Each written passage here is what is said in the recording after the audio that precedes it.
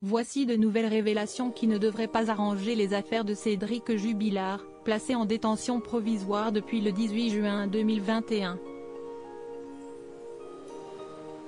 Pour rappel, cet artisan est mis en examen pour meurtre sur conjoint dans le cadre de la disparition de son épouse, Delphine Jubilard, avec qui il était en instance de divorce.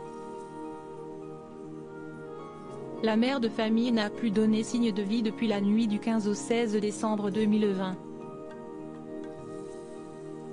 De nombreuses fouilles ont été menées à proximité de son domicile de Cagnac-les-Mines, situé dans le département du Tarn, en vain pour l'instant.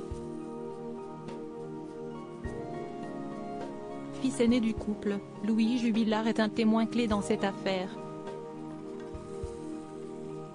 En effet, ce dernier a révélé aux enquêteurs que ses parents se seraient violemment disputés le soir où il a vu sa mère en vie pour la dernière fois. Son témoignage a contredit les propos de Cédric Jubilard à plusieurs reprises depuis le début de cette affaire. Clamant son innocence, le mari de Delphine Jubilard devrait voir son image être encore un peu plus écornée suite à la parution du livre intitulé Delphine Jubilard, une disparition, enquête au cœur d'un fait divers mercredi 26 octobre 2022. En effet, au sein de cet ouvrage, publié aux éditions du Rocher, on peut découvrir que Louis Jubilard serait plaint de son père auprès d'une institutrice. Delphine Jubilard aurait confié avoir honte de son mari Louis était le dernier à partir.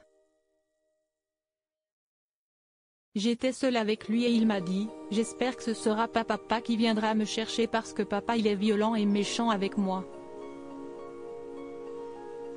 Il fait beaucoup de travaux et il ne parle pas, a indiqué l'institutrice en question au sein de ce livre. Il semblerait par ailleurs que Cédric Jubilard avait l'habitude de crier régulièrement sur son fils aîné, qui était âgé de seulement 6 ans lorsque sa mère a disparu. Gênée par l'attitude de son mari envers leur petit garçon, Delphine Jubilard aurait confié pour sa part que Cédric Jubilard lui faisait honte. Pour mémoire, le père de Louis Jubilard a déposé plusieurs demandes de remise en liberté depuis son incarcération, qui ont toutes été rejetées jusqu'à présent. Cédric Jubilard reste par ailleurs toujours présumé innocent dans cette affaire, jusqu'à preuve du contraire par les autorités compétentes.